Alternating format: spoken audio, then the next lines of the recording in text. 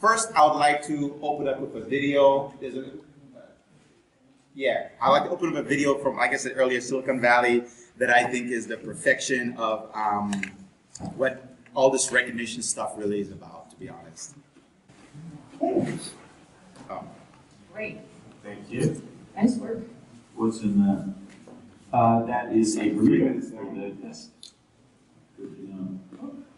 Let him have it. Gilfoyle thought he was too good to work on SeeFood, and now he's about to lose fortunes. Okay. Ready for test? After you, milady. Oh, this is weird. Mia just texted me good luck with the demo. Did any of you guys tell her about this? Your hacker girlfriend wouldn't happen to know the model of our router, would she? Yeah, actually, she complimented your choice. Why didn't you say anything? Why would I tell you? She said something nice about you. Damn it. You have to assume she's everywhere. Okay, it's ready. Please, God. What do you say if I told you there's an apple on the mountain? Pass that part. Just demo Okay, let's start with a hot dog.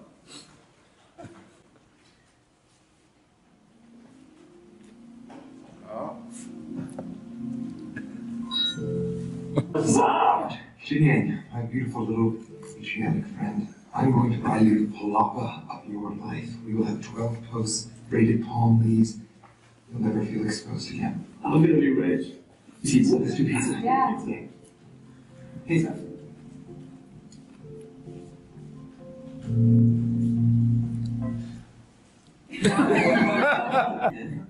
That's, that's it? It only does hot dogs?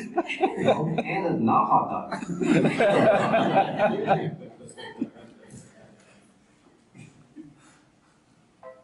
I gave you the ability to spin gold. All right, we're gonna, we're gonna stop it there. I feel like that pretty much does it. Um, that is basically the current state of most facial recognition machine learning. I mean, like, I do this stuff for a living, and it- you know, it's like really cool. It's really amazing. But I always tell people it's worse than you really think it is. So, but um, and you know, the video is great because as we go through the presentation, you'll see why that happened and how they could have solved it with you know fairly easy, um, fairly easy stuff. So this part, this talk is in is part of a presentation I'm doing for Code Peru um, next month. So you're more than welcome to talk, to come out there and, and see me talk. I will be doing like a thorough long presentation, actually how to hands-on build a lot of these things. But so the basic agenda is we're going to talk about me, which is my favorite topic. Uh, we're going to talk about some five truths of data science as I know them. We're going to uh, describe the problem, what we're going to try to solve with this code and uh, this presentation tonight. Uh, we're going to talk about some dependencies, tools I use, things you can find online. We're going to do a hands-on demo. All of the demo we're going to do here is open source code.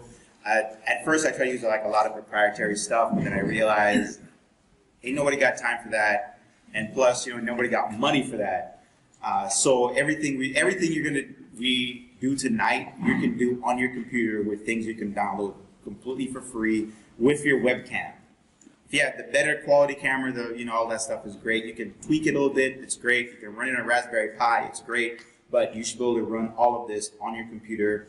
Uh, and the code is I'm gonna post a link. This is all on GitHub right now. I posted it before I came here. So I'll post a link on the Meetup group website, um, so that way you can access the exact same uh, Jupyter notebook I used for this presentation of all the code and everything else.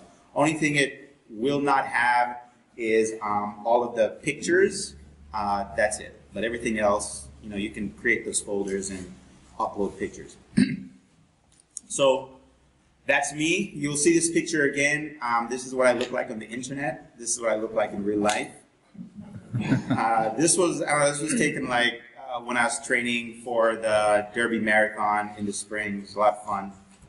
Uh, so, uh, basic bio about myself. Um, I I work with data to help the Army's medical department solve issues. Uh, a lot of it relates around our marketing spend, our not really patient outcome stuff so much, but marketing spend, operations, how to increase operations, how to um, how to make us more efficient, how to spend money more efficiently, and how to retain our doctors more efficiently, and how to just run our operations more efficiently because we're we are a global national organization, so we have facilities all over the world, we have doctors all over the world, we have people all over the world, so a lot of it we have to find the efficiencies.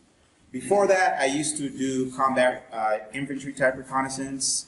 Uh, it's not as cool as it sounds. A lot of it involves sitting in a dark hole or a dark building for days and hours on end, watching empty roads, and for five minutes something happens, and you're like, ooh, something happened.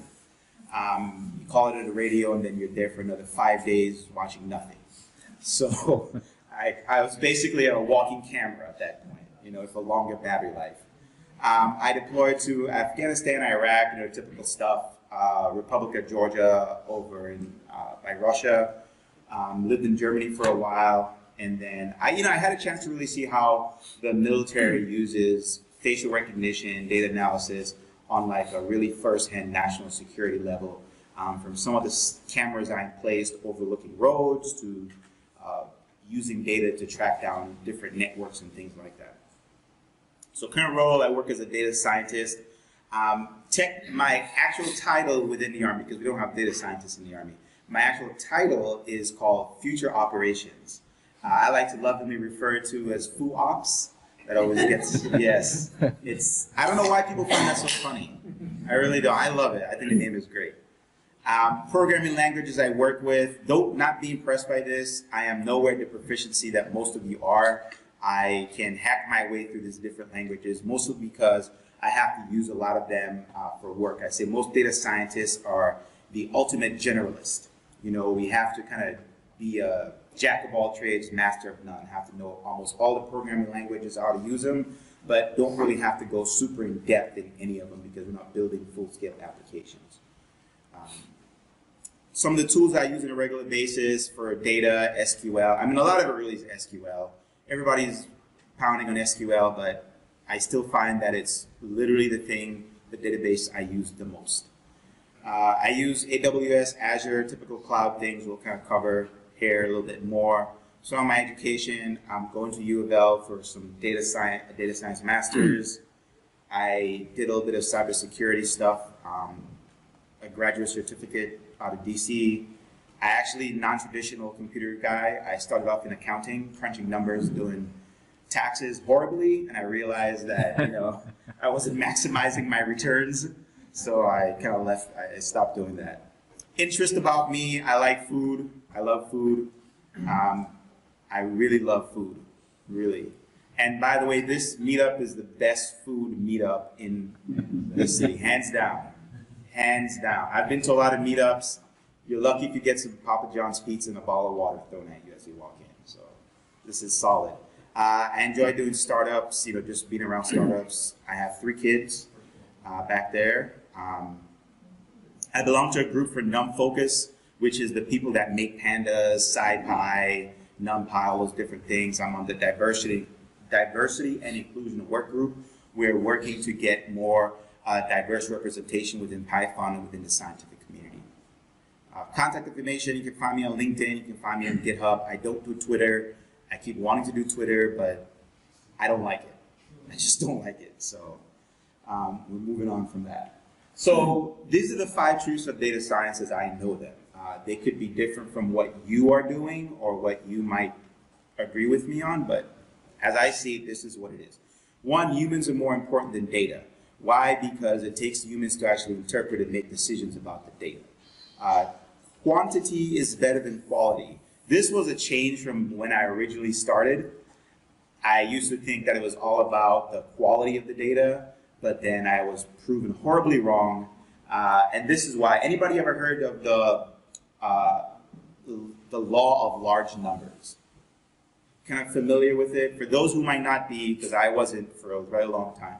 Those who might not be, the law of large numbers says that the more amount of numbers you have, basically, the more accurate your result. So if I'm trying to find the average of something, if I have 100 things to compute the average, it's more accurate than having two things to compute the average. So data is much the same way. Quality matters, but the quantity is really, really important because it's hard to train a machine model. It's like learning. If you think about a human being, human beings, before we go, before we on our own, right? We have what 18 years of knowledge, of trial-based knowledge, and that's a lot. If you think about it in data terms, that is a lot of data. That is a lot of data that we are processing. Some of it great quality, great experiences, really enriching. Some of it not so much. Some of it we just sit in front of our iPhone and play Candy Crush. You know, so quantity is very, very important. But qual- quality matters though. Let's not forget that. Um, data scientists cannot be mass produced. Data is very hot right now. If I misspelled anything, please forgive me. Jupyter Notebooks is, does not have a spell check. I'm still trying to figure that out. Uh, data scientists cannot be mass produced. So a lot of times, you know, data is the hot topic, right? It's like the new oil, the new gold, the new this, the new that. Uh, so everybody's trying to become a data scientist, or you know, and let's face it, I became a data scientist because I heard it was the new gold. So I was like, oh, that's great. Um, but uh, in my experience, I've learned that you really cannot mass produce it for the same reason you can't take a two-year-old and put it in charge of something because data science is not just about the algorithms. It goes back to point one, which is humans are more important, which means that as a data scientist, you are tasked to make decisions about the data. You're tasked to ask questions about the data. And if you're not asking the right questions, you're not going to get the right answers. It's just you can't have enough data to um, to make up the error for a wrong question. And that's where judgment, that's where experience, that's where skill, training, education, all that comes into play. Anybody can code this stuff up. You could go home and code this stuff up. Um, but it really takes the experienced eye to determine what is useful and what is not, what is important and what is not. Uh, dependencies, we're gonna, oh, last thing. Uh, most data science operations require non-data science assistants. What does that mean? That means that a lot of my job involves working with other people and leveraging other people's skills. I code in a lot of, I, I can't say code, I hack my way through a lot of different languages, but at the end of the day, I'm not gonna build a production-ready system. What I'm usually tasked with is to prototype something, develop a solution, answer a question, and then work with the software developers to implement that solution at, um, at a production scale that you know is redundant and everything else. Mine is some code that works. It works within certain parameters. It it you know validates the model, but it's not going to serve a thousand you know queries a second. It's just it's not going to happen. So I have to work with software engineers. I have to work with database administrators because I'm not handling, I'm not managing the data that I'm processing. I have to work with, you know, the business executives to find out what questions should I be asking and what kind of information do you want out of this. Uh, some dependencies we're going to use Visual Studio. Everything in here can be done in Visual Studio Code. I mean, I really prefer Jupyter Notebooks. It's super easy. It's a lot of power. I'm going to do this whole presentation in Jupyter Notebooks. Uh, we'll be using YOLO, which um, I don't know if anybody's familiar with the great uh, rapper poet called Drake. Um, it's not you only live once, or you, it's you only look once, which is a um, recognition algorithm. I, I just think the name is cool. CUDA, which allows us to do parallel processing on GPUs. In case you're wondering why I have such a big laptop, because it's technically a gaming laptop, and I really bought it for the GPU so I could parallelize a lot of things. And CUDA allows you to do that. Uh, versus a CPU where it's serial and it's like one process and another process and another process. Most mathematical operations, to include what we're going to do tonight, benefit from being able to do it all in parallel. Uh, we'll, you, won't, you won't really use CUDA, which is really a programming interface for CUDA. It's built in C, C++, which is the only reason I haven't really know C++. Um, OpenCV is also built in C++, uh, but we'll be using a Python API to work with it, so we're not actually going to work with the C++ directly. We'll be talking about AWS Rekognition. we'll be talking about Azure Cognitive Services, and I encourage you to take a look and Google up Shodan. It's a really, if you ever wanted to find out like the surveillance state, the surveillance state is not really the government. The surveillance state is some webcam some guy has in a store that is not secured and that has a web interface where you can log onto it and see everybody that walks into a store and control the camera and freak them out. Um, Shodan will allow you to do that. Uh, Python packages used, we talked about pandas for data frames, NumPy for mathematical processing, scikit-learn for a little bit more advanced scientific processing, matplotlib for graphs, Seaborn for data visualization, Pillow for images, Time for time, UID for um, to generate unique file paths. I'm not even sure I really use that one. Uh, math for math operators, Sys and OS for actual interacting with the system because we have to use the webcam and keyboard. Keras will Keras is a high-level implementation of TensorFlow. TensorFlow is a machine learning uh, interface. It's really, really powerful. It's open source, well, kind of open source-ish. It's developed by Google, kind of maintained by them, but Keras is a high-level uh, API uh, for Python that we use to interact with it. OpenCV, completely open source. Most of the presentation is going to be in OpenCV. You'll learn how to kind of do some basic things, and uh, we'll learn how to recognize this Kankuzi, hopefully. We'll show dark, YOLO, and then we'll show Darknet, which is really a part of YOLO, does the processing. Okay, let's move along. I'm not going to cover the code too in depth. We'll kind of go over it to show the functionality, but I'm not going to go line by line and talk about this package, that package. We'll just, if you understand Python, you'll be able to read along and kind of, it's fairly simple code. Uh, this is all the imports we're using. It's a lot of them, a lot of imports, different packages and whatnot.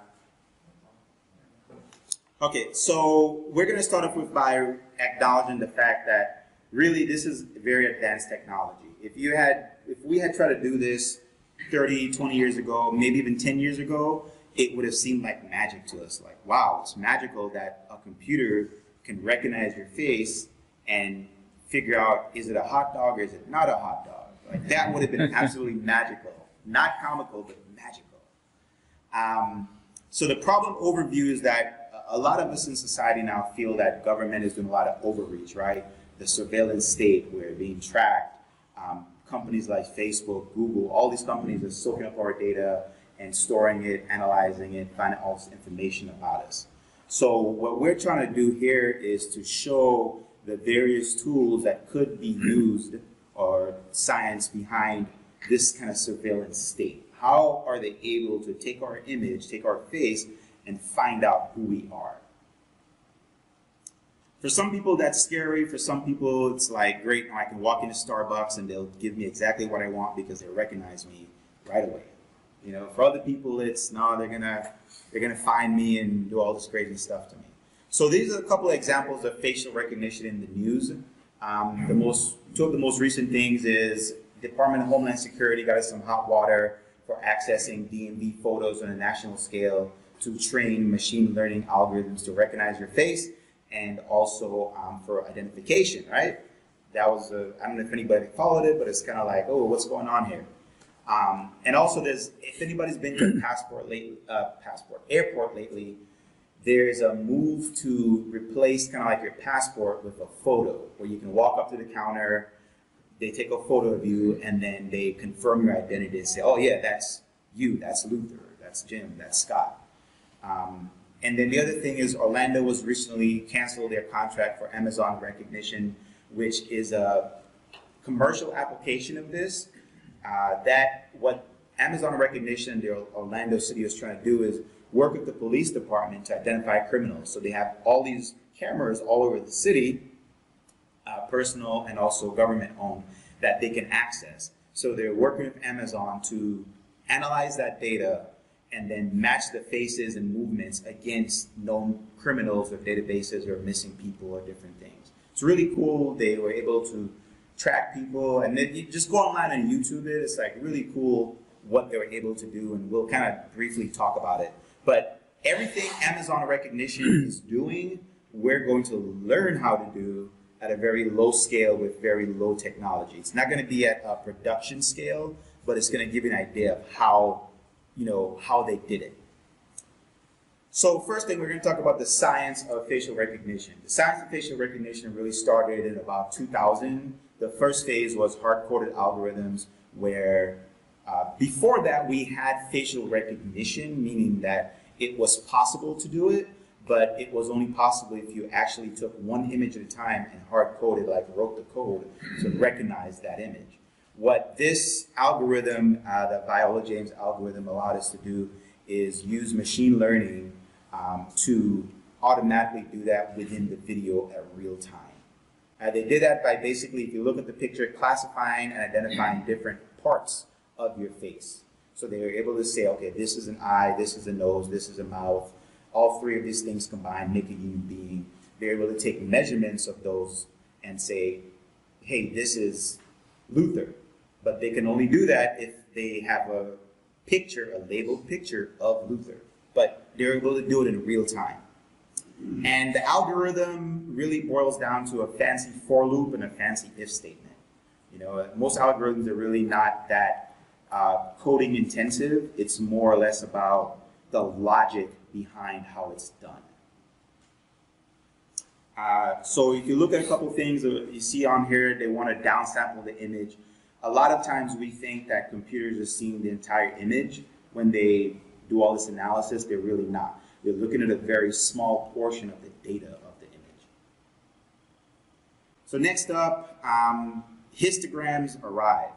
Anybody is from, I had to find this picture of a histogram. It's not, there's no arrival time thing in the presentation, but it's the most colorful one I could find. And my daughter loved it, so I kept it. Um, and if you don't know a histogram, that's a histogram. So think of uh, histogram, the algorithm was called HOGS, histograms of oriented gradients. If anybody, a gradient is basically a fancy way of saying a vector, and a vector is a fancy way of saying a direction. So what you're doing is you're getting a, a combination of directions, and you're putting all that together into a histogram of values, and you're plotting it, and you're figuring out where the mean is, where, you know, what the 20th percentile is, and everything else. Anybody recognize this guy? Will Ferrell, right? So let's see how the computer would analyze Will Ferrell's face for comedic genius. Um, so the first thing that algorithm does really is takes that photo and it breaks it down to individual pixels. So pixel by pixel, it will spread it out. Then it will downsample it. Notice that this photo is not in color. I'm sure originally it was a color photo, but it's not in color. Downsampling allows the what we call in data science is dimensionality reduction, meaning taking out unnecessary information that doesn't is not relevant to the analysis. Having a color photo will is not relevant to figuring out who it is I can do. If a black and white photo, color photo, it doesn't really matter. So they take individual pixels, they figure out what is the darkest pixel, what is the lightest pixel, and then they assign a gradient slash vector to that pixel. So each pixel is replaced with a gradient or vector saying this is direction, this is the direction of the darkest spot next to the pixel. So if you have a light pixel, the arrow, the gradient arrow will be pointing to the, to the next darkest spot. And it'll just keep doing that for the entire photo. So that entire photo is basically replaced into this, right? The entire photo is replaced into a series, series of gradients. Pixel by pixel, it is given a gradient. Now the real fun begins. That individual pixel is then turned into a 16 by 16 square of pixels, and those 16 by 16 squares are averaged out given a gradient that is an average, or vector that is an average of that 16 by 16 square, pointing to the same thing. So lighter, darker, lighter, darker, lighter, darker. And then at the end of it all, we get Will Ferrell. If you looked at this, you could not tell this was Will Ferrell. The computer can't tell it's Will Ferrell, but it couldn't tell it was Will Ferrell with the color photo, so it doesn't really matter. But if you look at it from a computer perspective, it has enough data to really tell that this is Will Ferrell if you knew who Will Ferrell was. Why? You can identify, what can you identify? You can identify the eyes, you can identify the forehead, you can identify the nose, you can identify the lips, you can identify the outline of his face, you can identify the entire shape of his head. Go ahead. Okay, would it depend on the uh, quality of the photo as compared to what is light and what is dark? Yes, and well, not really, and we'll cover that in like the next step. You'll see how the computer doesn't use once again doesn't use as much doesn't need as much data as a human being would. So is this similar to uh, fingerprint uh, analysis and recognition? And you have certain things in the fingerprint, there's like seventeen or twenty different Yeah. key points that they use, and they can search a massive database because they can hone in on something pretty quickly. So is that what this is doing pretty much? So this this part of it is not hmm. that, but the matching one face to another is that. Because so with this picture right here, much like a fingerprint, I can run a series of calculations. What is the mean point from eye to eye? What is the longest point on the face? What is the width of the face? And given those data points, those those numbers, now I can compare that to another face and say, do, those data points match this other face? If they match this other face, then there might be a high possibility that these two people are the same. So that's what it's effectively doing is, is downsampling to reveal the key features, and then those key features are measured. That measurement is compared to other faces, and that's how they do the recognition. They don't look at the entire picture per se, they look at key features, key measurements. I'm seen that you're ma, you're turning this, this amount of data into a simple representation of this person, and that lets the computer filter out other people that are not like. this. Exactly. It reduces the unnecessary data that the computer has to work with. Um, so next we kind of entered, all these two solutions are still really very hard coding intensive, very, as you can tell, pixel by pixel, the computer has to kind of go over it. And somebody has to tell the computer, this is what I want you to look for, this is what I want you to do it. So the deep learning era begins in 2012 with convolutional neural networks. Try saying that five times fast. Um, and intro, quick intro to machine learning. It's data guided, uh, garbage in, garbage out. You know, like the prediction is only as good as the input that you give it. Um, more, like I said before, more data equals more precision, precision because the law of large numbers. The better the average, the better the accuracy. Inputs, inputs in data science are called features, uh, not software features, but features, right? It describes points of data. Maybe it's a column containing height, or a column containing a user ID, or you know anything else. Features can increase or decrease accuracy. Not all features are created equal, meaning that if I'm trying to analyze for something, I have 10 features, maybe only three of them are really necessary to answer the question that I'm asking. The other, all the other seven out of that 10 are not really necessary and actually might slow down the process or give me a false, uh, false reading. So feature selection is a very big part of data science because you just can't, you just can't take everything and be like, oh, I'll just take it all. You have to really be selective about it.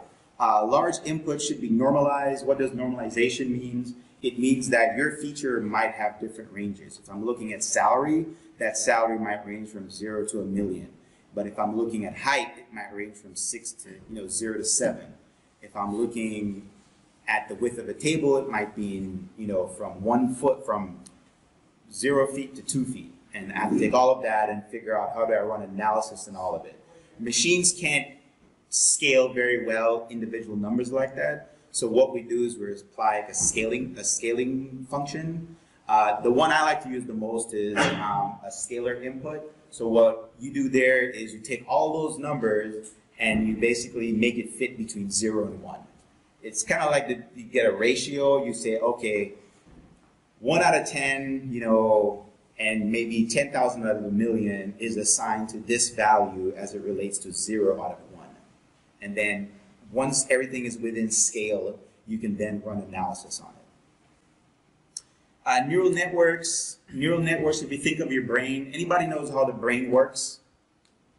No, neither do I, and I don't know anything about neural networks, and nobody does. Meaning that uh, it really don't. We know that it works, we know the basic framework and composition of why it works, but you would not be able to trace a solution through a neural network, much like you can't trace a solution through your brain.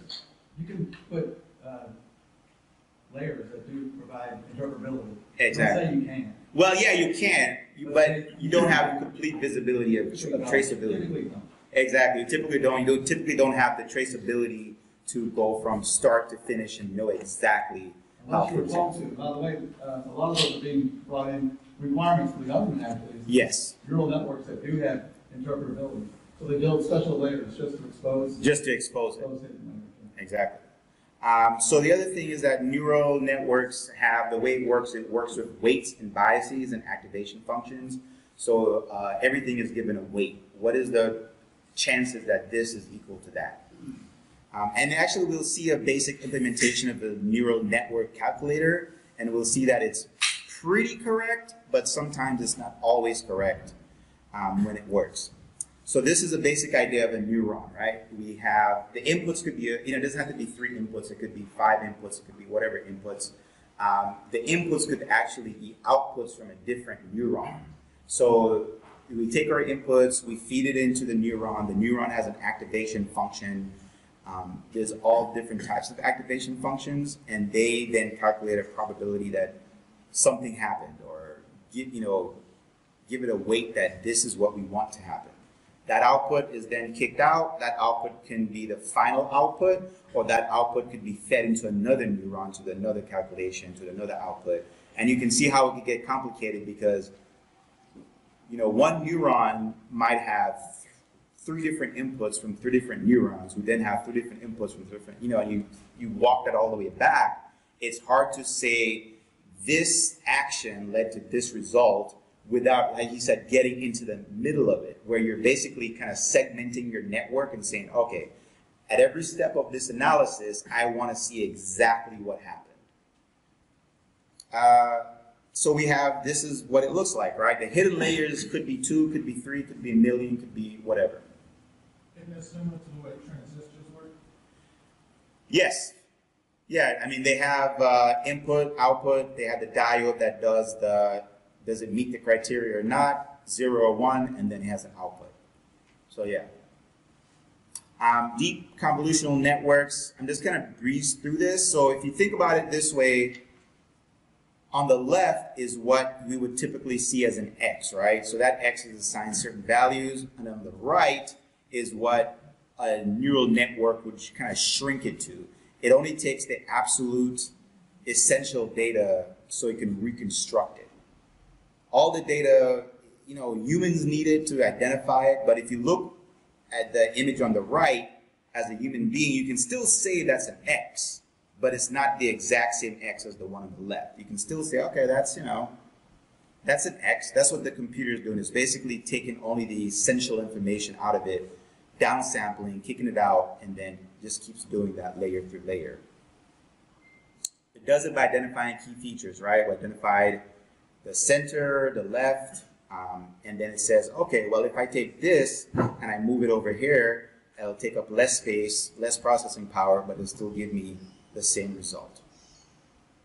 And we can tell how it does it. All right, so these are a series of faces. Um, early networks were really trained on identifying particular points in the face. It's like they were trained identifying the nose, the mouth. You know, you had images of like top face, left face, right face, half the face, no face.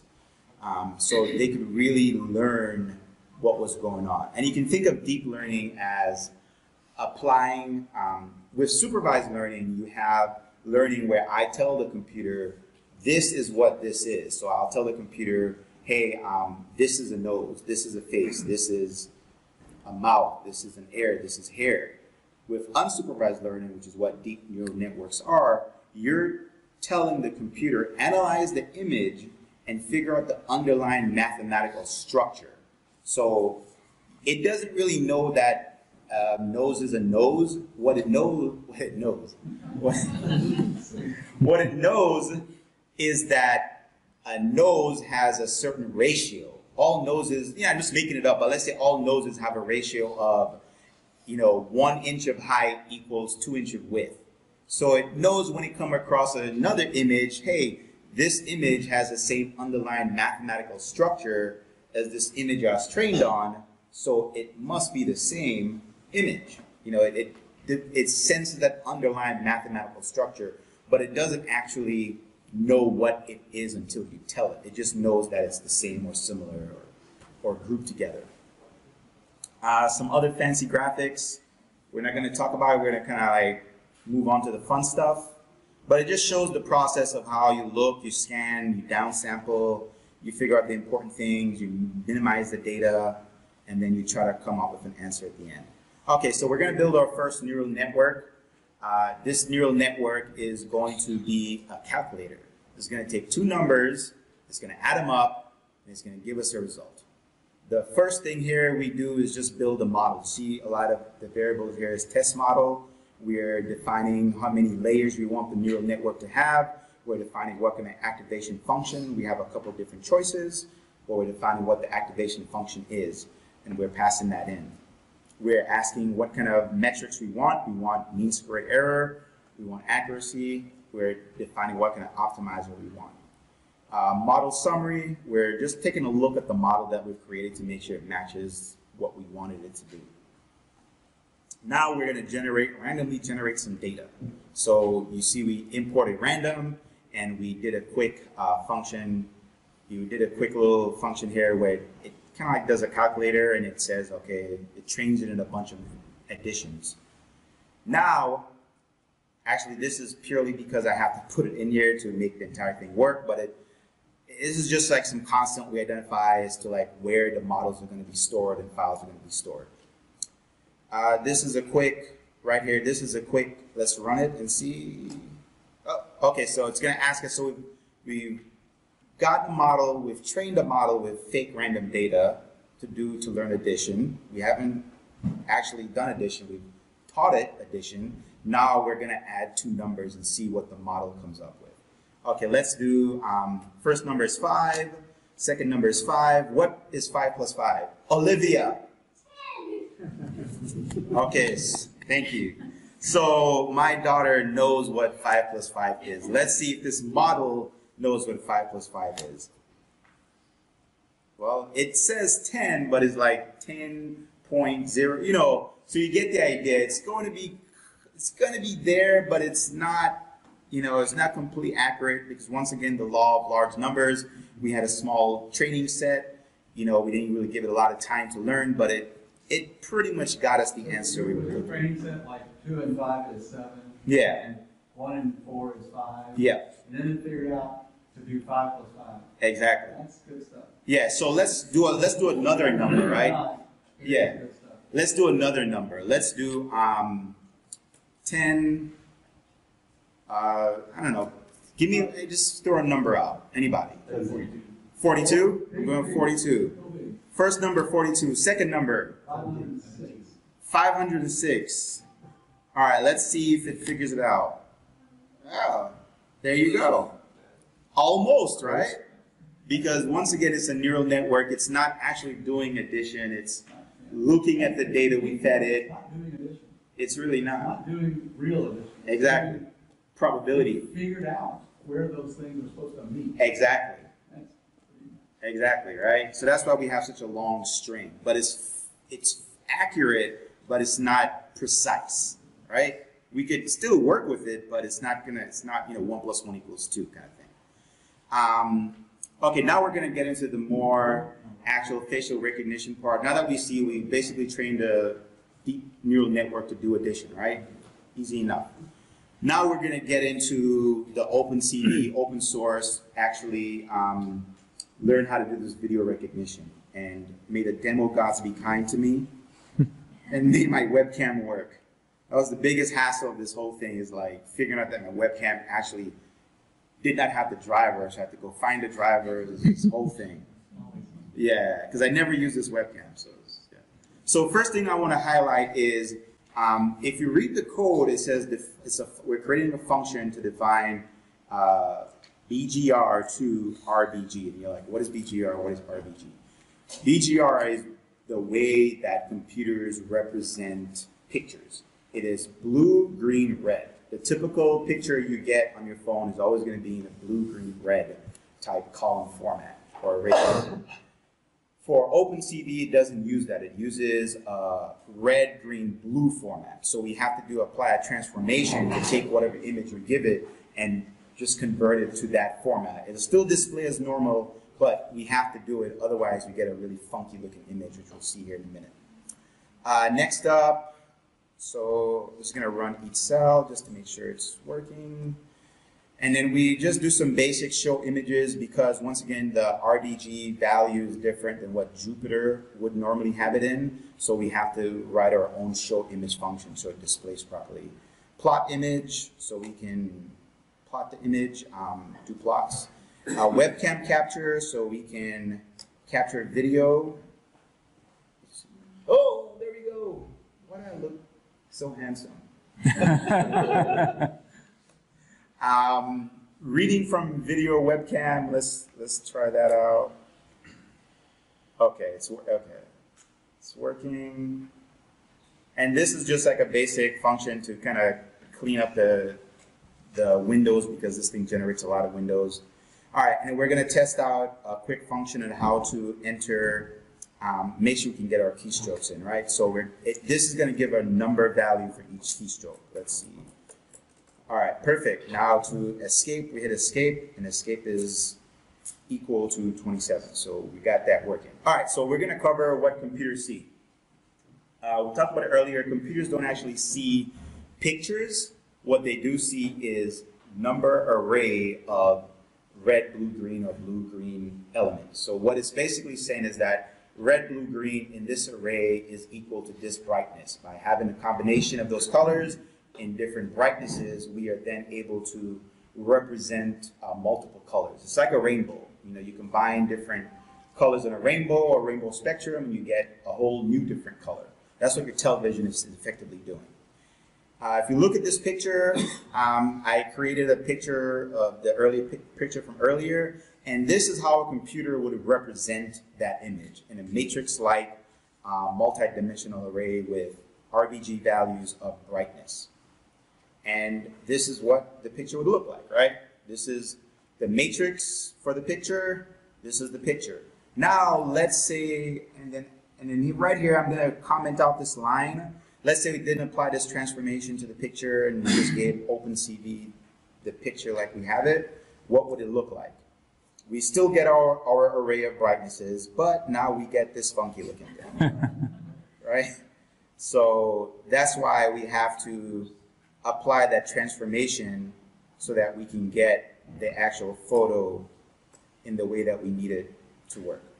Uh, and then we talked about, uh, you brought up the quality of the camera and the quality of the picture. That doesn't matter to a certain level. So, and these are the different transformations that make it possible. So blurring, blurring, uh, if you have a super accurate picture on the data file, the picture is represented as a lot of spiky points. So it has a lot of outliers that you know give it really fine accuracy, but at the same time make it very hard for the computer to analyze because there's a lot of outlying data. So the blur function makes it blurry. It takes all of those sharp edges and downsamples it and makes it more normal, or at least just not as sharp. Uh, oh, and my daughter had a great one, really great one for this. So this picture here is me on LinkedIn or any choose your favorite social media platform. That's me on LinkedIn, and then this is me in real life. you know, it's the same exact image, but it's just a different transformation applied. The dilation is a transformation that picks the maximum value from that pixel, from that group, and then keeps it. Uh, the erosion function does the exact opposite. We pick the minimum value from that pixel and we keep it. So that's why they look, you know, this is actually me in real life as well too. Just putting it out there. Um, canny edge detector. So if you look at this picture on the top and the and the thing on the bottom, you can see that it's not the picture, but it's the outline of the picture, right? So that's how the computer is able to tell the shape, how we're able to get the shapes. So we don't, once again, the picture, the computer doesn't look at the entire picture, it downsamples it to the level it needs because all that data is not, I don't need to know that the tree is green to figure out your face. Like, means nothing to the computer. Uh, thresholding. Thresholding is a kind of binary way of assigning uh, within grayscale a maximum and minimum value. So if you look at it, once again, it's the exact same picture, but what we've done is we've assigned, say, okay, only return pixels of more than this value. Only return pixels, or if it's not more than this value, it's black. If it's, you know, so if you look at it, the picture really tells you that the, the, the latter parts of your face are gonna show up. So, uh, coded as white. So you have your forehead, you have your cheeks, you have your kind of like the part that faces the sun really bright. But if you look at your neck, that has a shadow, right? So that's going to be black. So it, it assigns that kind of binary classification to it where like maximum value, you know, anything above this, give it a white, anything below it, give it a black. And kind of still retains the picture, but without all of the blue, greens, and everything else. Won't that eventually be a feature though of your Yes? Yep. All of these different things, the blurring, all of them are going to get used in the algorithm to help us do motion tracking, and if it works, we'll see. Um, so, so this right here, if we look at it, is we're gonna. So this is a picture I have stored on um, images. Yeah. So where is this thing? This is image folder, EG, So this is the background. Uh, and then what else? What other what other file do I have in? Current frame. Okay. And then this is this a new picture with the Gatorade bottle, right? So we ran a series of transformations on it where we can it can be used with video or images, but just think of a video as freeze frame images repeated really fast. So the computer's not looking at a stream of data so much as it's sampling that video at different points and then analyzing that. So you have the original picture, you have your Gatorade bottle, and then the computer saying, oh, what is the difference? How does it figure out the difference? Because it does two things. It takes that original image, because it's we know it's a numerical um, array. It has all the numbers for it. And then it overlays it with the new picture with a new numerical array and says, what is the difference? So think of it this way. You have an array with uh, three ones. One, one, one. Then you introduce a new, you overlay a new array with one, zero, one. When the computer looks at it, it says, oh, that zero and the one in the middle, that's the difference. So that's how it does the picture. It doesn't actually look at the picture, it looks at your RGB values in your array and looks at the difference. In a video, it uses like a mean average. In a picture, it just uses the actual number itself. So then it's able to say, okay, boom, there we go. We know that in the first picture, everything is going to be black because all the values are the same. In the second picture, um, once you overlay it, there's a clear difference, right? Because the green Gatorade bottle, the hand, those are all different values. So then all it simply does is everything is black, but these values that we're going to show you. Then you're doing kind of like similar thing, thresholding, blurring, reducing, uh, grayscale, to just put it in grayscale. Now, think of the same array, right? That one, one, and one. That one, zero, one. What you're going to see now is you're basically going to cut out the ones on the side and you're going to leave just the, the zero and one in the middle, if that made any sense. Um, yeah, there we go. So now it's looking at it and it's saying, okay, well, the background image is going to be all in black because that's all the same, but we're going to outline the shape of the Gatorade bottle, right? So we use the same thing, kind of like thresholding, to show the difference. Now we can see, oh, okay, that's an outline of a hand and a bottle. Uh, Structural similarity index? what's that? Is that similar to like structural similarity index? I first of all, I'm not gonna. I don't know everything, and I'm gonna say I don't know what a structural similarity index is. So please enlighten me, because I want to know. It's, uh, the way I understand it, so Uh-huh. let's start with that.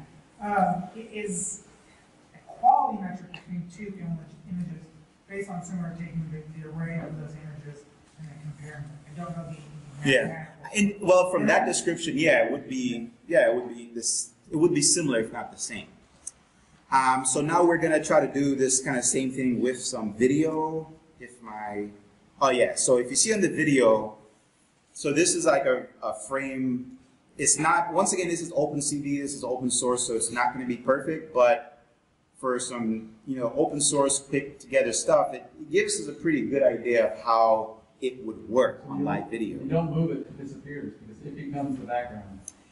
If yeah, if it stays there, so what the what it depends on how, and this is where like um, really working the program comes in because what it is, it, it the the way I wrote it, it takes one initial frame at the beginning and it saved that as like this is like the master copy, and then everything else is just compared to that. So if I wanted to, I could rewrite it to like update that master copy over time. You know, it's, That Gatorade bubble just disappeared because it stayed still. yeah, That means that the background was something recent. yeah, exactly. So it's Not- re- Not something yeah. at the beginning. I like the idea of having it at the beginning, though. Exactly. So it's recent. yeah. In this It became its own background. exactly in this instance, it became its own background because the computer's re, re you know exactly recomparing. So yeah, every ten seconds, every thirty seconds, it's taking detection also uses that same. exactly. It's taking a new frame of the background and comparing that. So if you don't move the object, then yes, it would just that would just become the entire background. Um, there's ways to mitigate that, but yes. So next thing, we're gonna do a quick contour, and this is the one thing I was not able to get 100% working, so we'll see if it actually works, where part of motion tracking is being able to outline things and say, isolate images. So what this little program does right here, so if you look at right here, it says define blue, green, red. So this is why we're able to see blue. Really, if we assigned, if we found the RBG values for red or yellow or whatever it is, we could technically have any color coloring that just chose blue. Um, so by picking a color, we're telling uh, OpenCV, hey, find this color and outline it. So let's see.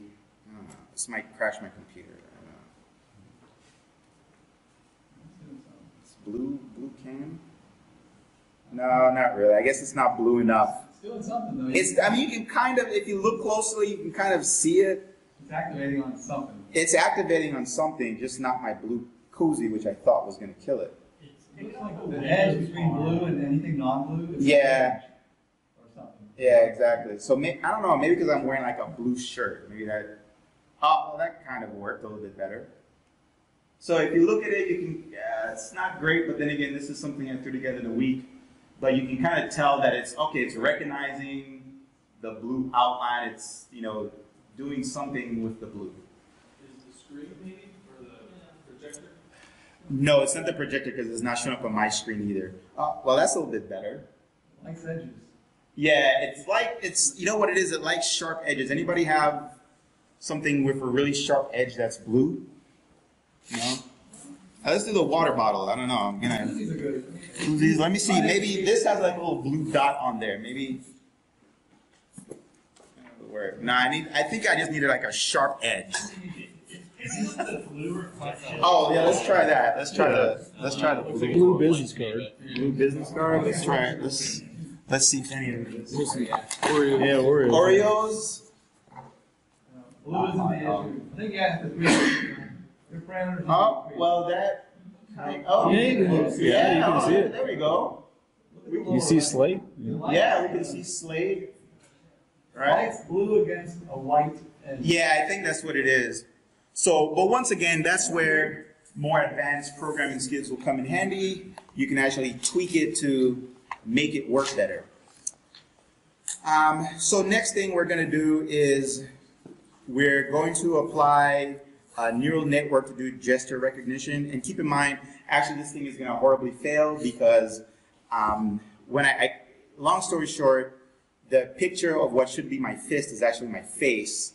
So when you see 100% for fist, it's going to be my face. But then again, I've trained it on my face. Nobody punched One me. reasons why it might not found the blue, all these things are printed.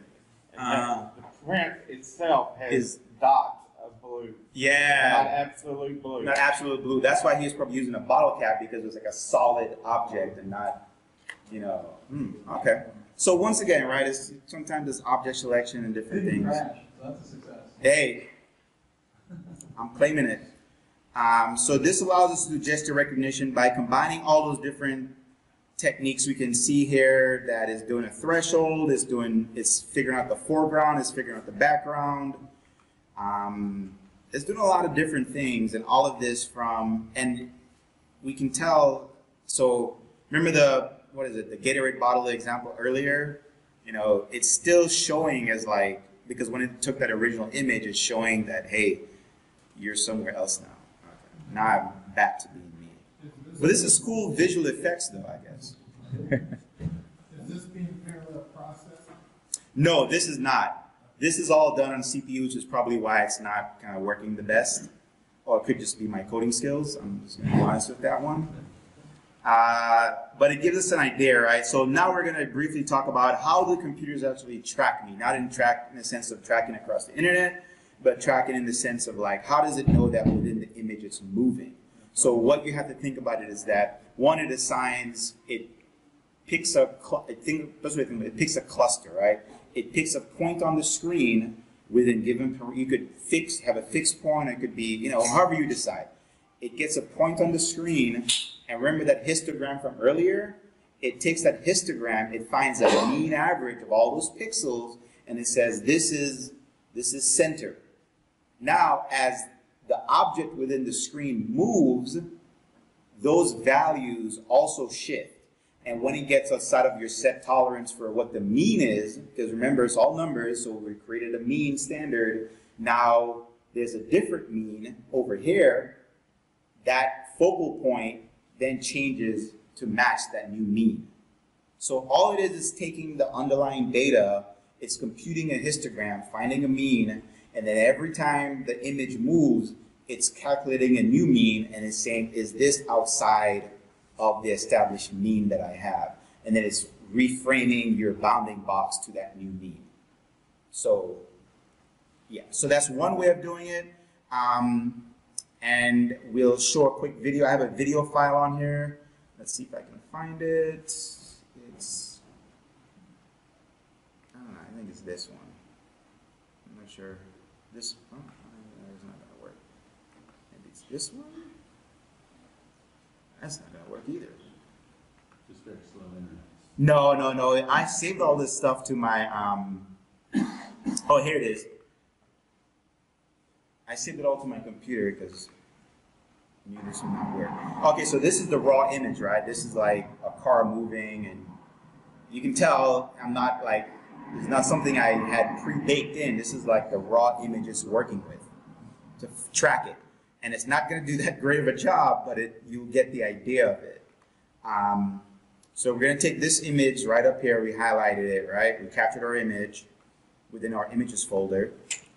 And now let's see if it can find it. So it's established a bounding box. It's searching, it's searching, it's not really finding any movement. Oh, it found some movement. Now it is tracking the object within the screen. Right? Okay, tracking, tracking, and okay, now there's no object, so it's searching, it's searching, it's searching, it's searching, it's, oh, new object, and now it's moving it, right? But because of our bounding box and everything, it's kind of big, so, you know, it's not exactly accurate. It's not 100%, but we can tailor it with code to get more accuracy. Well, it's not specific to an object type, it's just picking up something that's moving that's the same shape. No, no, not even the same shape. It's picking up moving. Movement of, but it's, a- it's gotta track the, the, the, the histogram of the distribution. Yeah, It's moving. exactly. But think about it this way. Like, so the bridge, the sky, those are not moving. Those are stationary It's not like objects. Only trucks. Exactly. Exactly. It could pick up a person if I set it over there. It would track that person because within the frame, those histogram means are gonna move over time, so it'll just track. It'll track it, but it doesn't know it's this. This basic implementation doesn't know that it's a person. Right, right. It just knows it's an, a series of means Why, why was it that hanging out there by the pole? uh, because when I initially built it, I couldn't really find a way to assign it. It's like um, for k-means clustering, you have to assign it to a point, and I couldn't really find a way to assign it to a point that was already moving. Random, just to. Yeah, Okay. so you know, but it's something we can work on. Um, so that's one of it. But you can tell the basic implementation is kind of like, if there's no object in there moving, then it's hard to find it. Another way of doing it is called cam shift, where you start with a mean shift, where you, same thing, you identify the mean, you track the mean over time, uh, but this one includes image orientation uh, into the mix so you can then orient your size of the box based on the image. So if your moving object is big, it will, re- it will reorient the box to be bigger and track a bigger object. For this one, you'll see. This is not going to be great. yeah, because when I once again once I coded it, you know, working on it, trying to get it to work, the only way I was really able to get it to work was like by making making the box big enough where it would. I tried to fix the first problem, but then by fixing the first problem, I I assigned it to a point where it had so many moving parts that it was the box resized to basically come across the whole screen because if you look at if you look at the box, it's doing what it's supposed to do. Kind of fade coming your way. Exactly, it's All tracking all of the moving objects. But guess what? Every object is moving, so the box is almost the size of the screen because you have a whole bunch of moving You objects. just limit the X, the width and height. Yeah, you could exactly like limit it. You know, so there's different tweaks you can do to make it work better. multiple boxes, one for each moving thing. There you go. You could. Yes, you can. That's all I will say about that. yes, you can. Um, so, and then, so this is where I would act, ask for some feedback. Please go review the code, do a, a pull request, do something. Yeah, go build something with it. Um, this was when I tried to do like the fist. So this was going to collect data and then say a series of pictures. I couldn't get the code to work. It says, you know, so if you when you go online, if you find a way to make it work, please do a pull request on my GitHub and let's you know let's get it to work. So because I couldn't get it to work, I basically took a picture of my face and you know yeah made my face a fist. Um, so same thing like we did before with the calculator, we're gonna go in and we're gonna build a neural network, right? It's not gonna be trained on anything. We're just kind of outlining the framework of it, saying the structure of it. Uh, I need to update some packages, I guess. We're going to prepare our training data. Grayscale, okay. Let's see. Images data generator is not defined. I don't know. Let's see. Oh, it's working. So it found the one image which we know is going to be my face. Because let's go back to let's go back here and right here T data and V data. T data is test data. Data is going to use to test and the V data is going to be validation data. Um, data, it's, it's the same data, but. Okay, so this is the image that's in that folder, right? Same image from before. We're going to, okay, so we found the image, it's going okay. We're going to, we're to do stuff. Let's see. Works, okay, it works. We're going to train our model get some feedback from it. Um, so what it did, and we'll go in and we'll explain this number. So the plotting history is going to give us more information about the actual model itself. So in statistical description of the model, we have loss and accuracy, right? Loss and accuracy always equal one. So the greater the loss, the less the accuracy. The greater the accuracy, the less the loss. It's just a way of saying how good was your model. That's for the training set. This is for the validation set. And then now we've completed the demo. Let's see if it works. Oh, a bunch of stuff. Okay, so it has a bunch of like, you can tell all the different transformations that apply to it. But let's look at two things. We're going to look at our, on the, yeah, okay, so on that image that's moving or whatever, you have a live image like real time. It's not something we did. And then on the right side, you have basically the output of what the computer thinks it is. So what should happen is that when I put my face in front of it, it should read like a 90% fist. Let's see now. I'll move it. What's a five?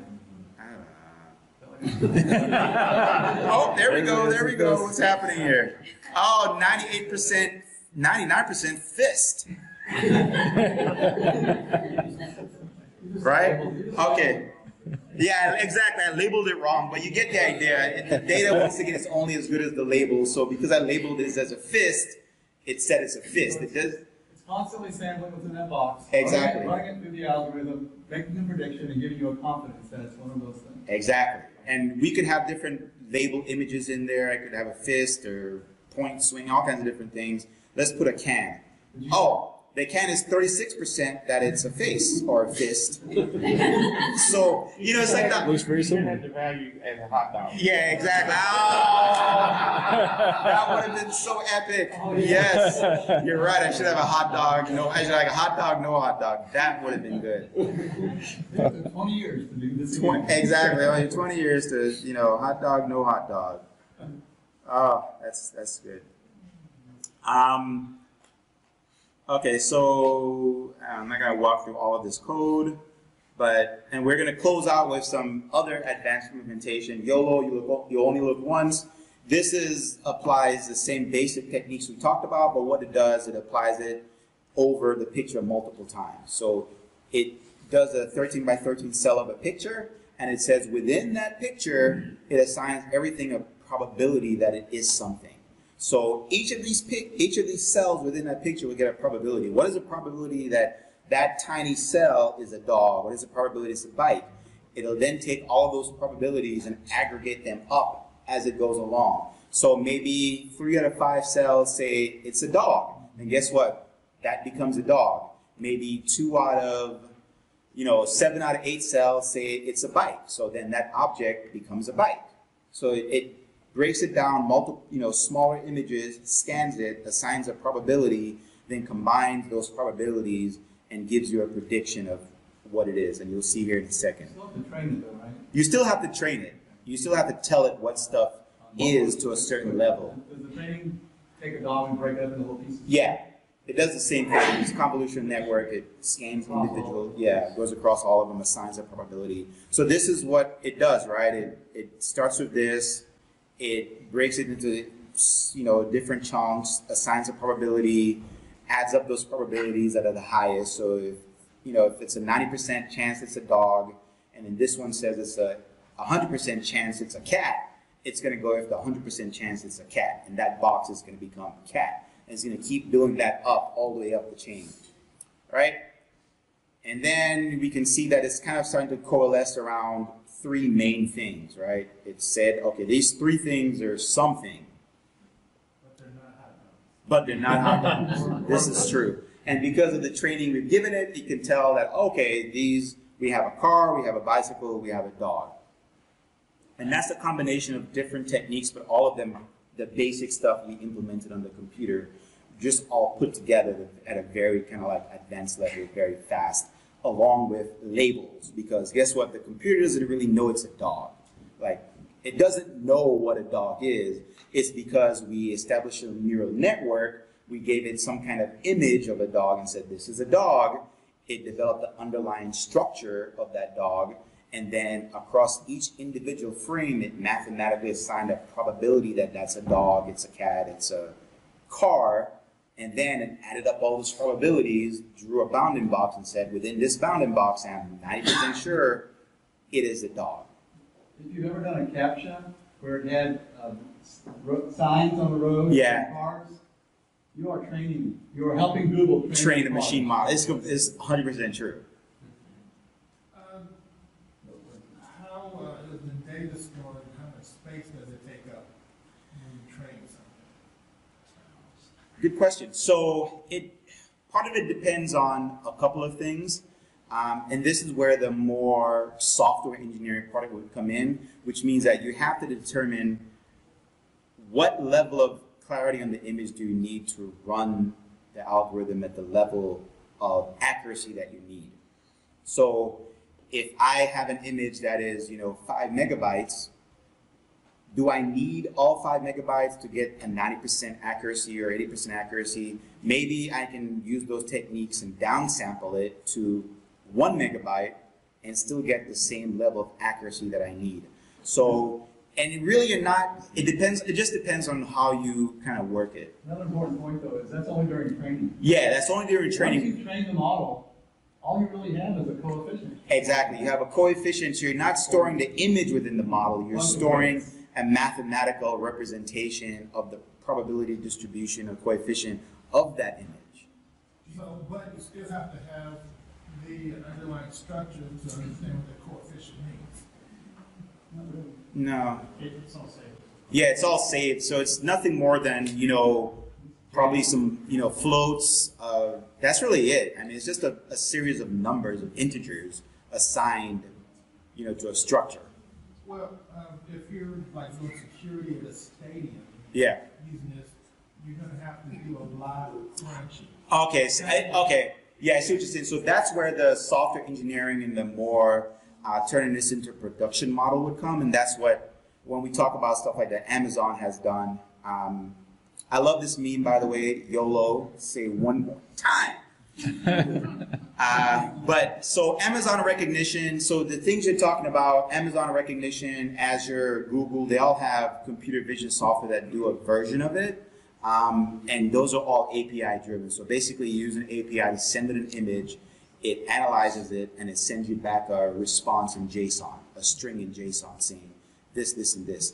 Um, but when you're talking about like the, the amount of images, really, I, I guess the easy, it, yeah, the way you said, it's still gonna be a lot of numbers to crunch. Yes, and that's where I talked about CUDA and different things come in. So there's different ways, and I, I can't really get into all of them now, but there's different ways that when, as you're feeding the data in to downsample it, and then also the computation part of it. So if you think of it like an array, right, like the uh, a numbered array, you uh, the way a CPU does it is that it's serial process. It's I do this, then I do this, then I do this, then I do that, then I do this. With a GPU, by using the GPU, you can run all those things in parallel. So that way, the computational load um, is lessened because you're not exactly. It's distributed across multiple processors, so you get the results back quicker. And because this is really all math, at the end of the day, you're really just doing a, a, a bunch of mathematical operations. So Those can be real-time data, real-time yeah, and that's really the advance in data science has come from because we were able to combine large amounts of data with large amounts of processing capability and also efficient algorithms to make it all work together. I mean, you could have probably done this stuff 30 years ago, but it would have taken you forever because the computational um, power wasn't there to do it in real time.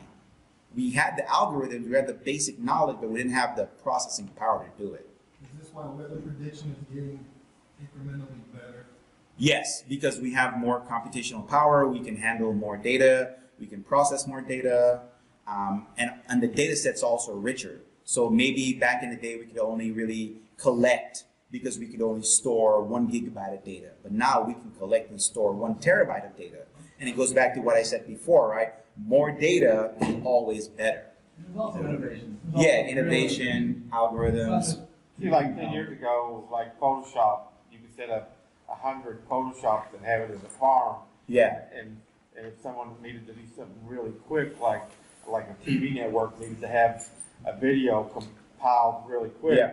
They'd use, uh, let's say a hundred computers and then boom, they got it real quick. Exactly. On air. Yeah, now I can that use my GPU. are getting so Yeah. fast, we don't need that same technology. Exactly. So just to kind of wrap it up, um, anybody seen Minority Report? I don't have to play this whole clip. Anybody seen Minority? You know, Tom Cruise. So that's kind of what the future. Everybody thinks the future of AI is, but the key thing I think I hope we all learned in here is that he was using his eye like uh, retina scan as a means of identification, but really we don't need to.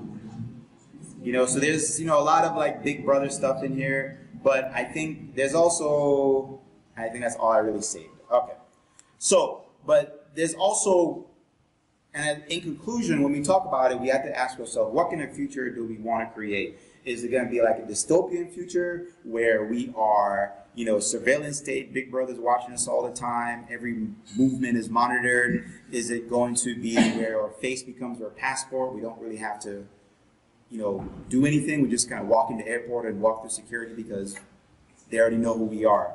Um, or is it going to be like new levels of personalization? I was thinking about this while I was on the way here because I drive a really old car. I'm like, how cool would it be if I had a brand new car that had a bunch of cameras around it where I don't even need a key anymore? I just walk up to the car, the camera scans my face, and it knows who I am. It knows that, oh, this is my owner. It opens the door, I hit start, and that's it. I don't have to I don't have to use a key, I don't have to use an app, I don't have to do anything.